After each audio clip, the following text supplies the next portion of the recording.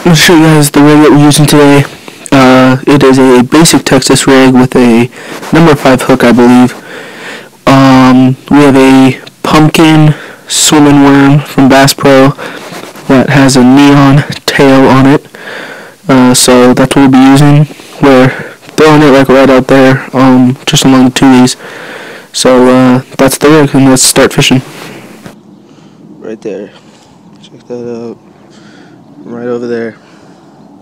That little area. Well, he's a good size. He's like a pound and a half. But, uh, we'll let him go.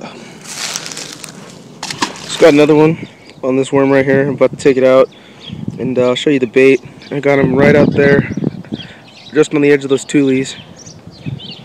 And uh, this one's a little smaller than the last one. Only maybe about a half pounder, but I mean, they're still good sized bass. So I'll take the hook out and I'll show you the release. Alright, I'm gonna let her go.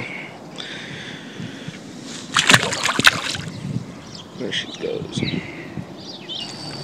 Good job, Sean. Sean just got his first fish ever, and it's pretty big bass. About the size of the one I caught yesterday. You can't take it out.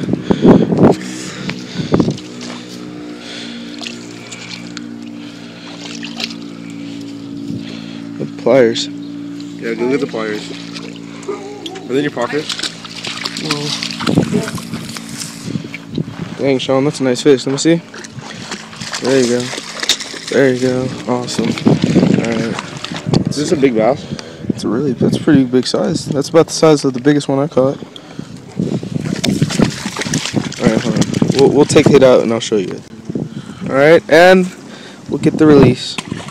That was the worst release ever. Hey guys, just got another one out there over by the dock. And uh, she's about the same size as the other ones. And um, good little fish. You want to see down there. So.